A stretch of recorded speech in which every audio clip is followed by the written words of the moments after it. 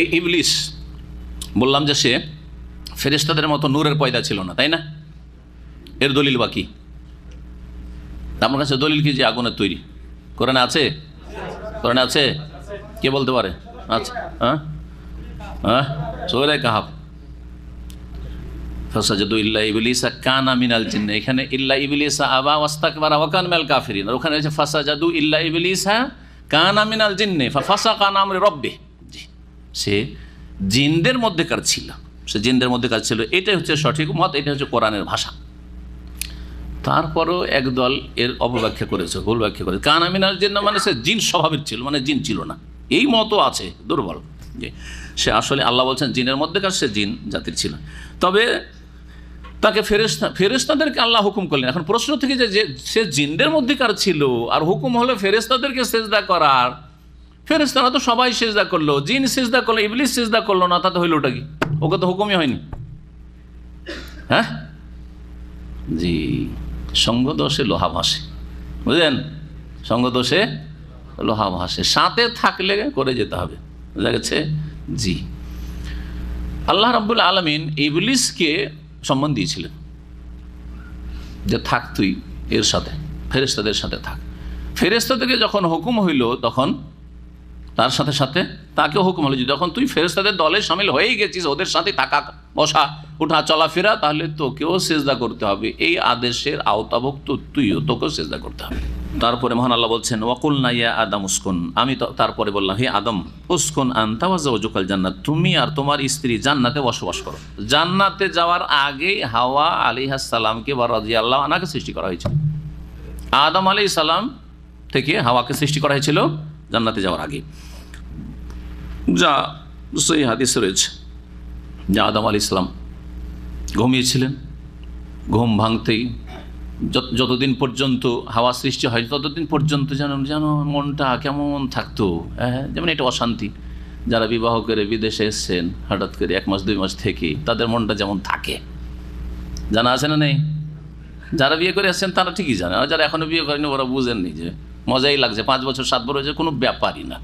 কিন্তু নতুন বিয়ে করে দু তিন মাস থেকেই তারপরে চলে এসছেন অথবা বিয়ে করেছেন এখনও মানে ওই রকম থাকার সুযোগ পাননি। তাদের যে কেমন দিন কাটছে, রাত কাটছে, ওরা বুঝতে পারছে। তো আদম আলি ইসলাম ওই রকম অবস্থা। মানুষ, মানুষের প্রকৃতি একটা আছে।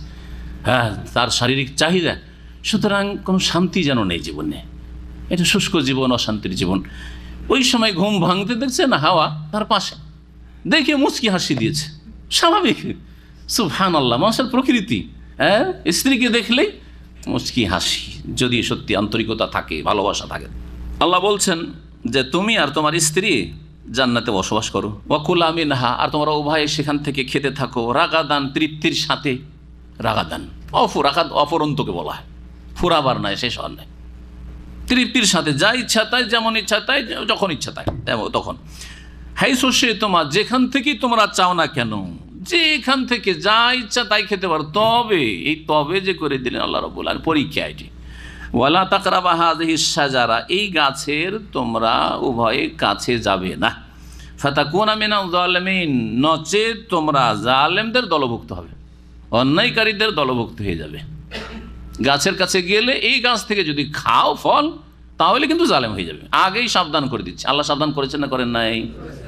তা আল্লাহর কোনো দোষ চাপবে? যে আল্লাহ বের করবে দুনিয়াতে পাঠাবে সেই জন্য এরকম কাজ করেছে। আল্লাহ বলেছে যে, তুমি এরকম কাজ করো, দিয়ে বেরিয়ে যাও। আল্লাহ বলছে, আরামে থাকো, তুমি এই কাজটা করিও না। কাজ করলেন আদম, ঠিক না? তা আমাদের বাবার ভুলের কারণে আমাদেরকে পৃথিবীতে আসতে হয়েছে। তারপর আল্লাহ রাস্তা বলে দিয়েছেন, ঠিক আছে, জান্নাত দেখিয়ে দিয়েছি, আর জান্নাতে কিছু তো রেখেছি, ও। তোমাদের বাবা আদমকে আর জান্নাতে ফিরেও আসতে পারবে? তার তরিকাও বলে দিচ্ছি, এখন ওই তরিকা ধরো, আবার ওই জান্নাতে ফিরে আসবে। হারিয়ে যাওয়া বস্তু হাসিল হবে। খেলাফত মুসলিম জাতি হারিয়ে দিয়েছে। হারিয়েছে না হারায়নি? হারিয়ে দিয়েছে।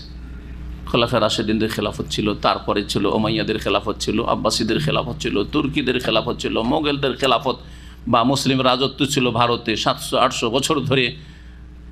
সব হারিয়ে দিয়েছে মুসলিমরা এখন। না, পশ্চিমা সভ্যতা তাদের ঘরে ঘরে হ্যাঁ রাস্তাঘাটে হ্যাঁ সব জায়গায়, জি, হারিয়ে দিয়েছে।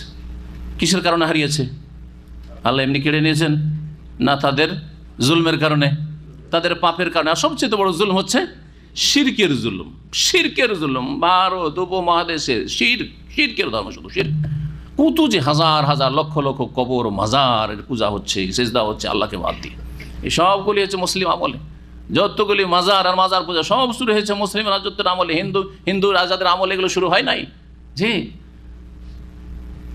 এগুলোর পৃষ্ঠপোষকতা করেছে। আল্লাহ কেড়ে নিয়েছেন।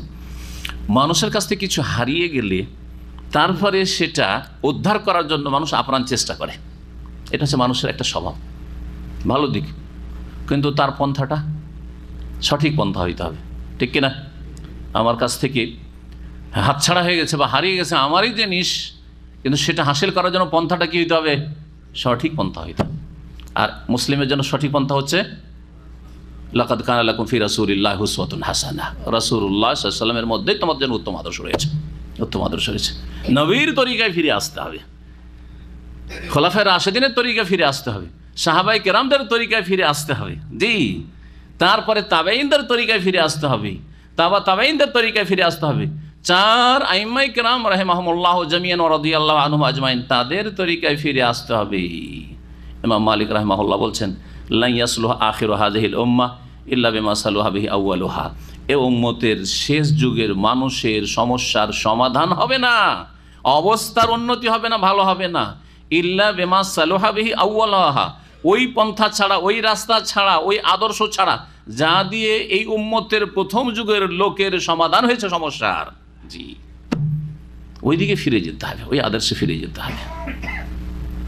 দিনের অপব্যাখ্যা না করে, ভুল ব্যাখ্যা না করে আর মানুষের পঞ্চাশ ষাট বছর আগের মন্ত্রতন্ত্র আর ওই সব মতবাদ নিয়ে হ্যাঁ ছোটাছুটি না করে, আর পশ্চিমাদের মতবাদ কিছু তাদের নিলাম, কিছু আমাদের নিলাম লক্ষ্য উদ্দেশ্যটা ইসলামের, আর পন্থাটা হচ্ছে কার? হ্যাঁ ইয়াহুদ্দিন আসারাদের এইরকম রাস্তা ধরলে কেয়ামত পর্যন্ত কখনো লাইয়াসুল্লাহ আখের হাজির লম্বা সমাধান হবে না।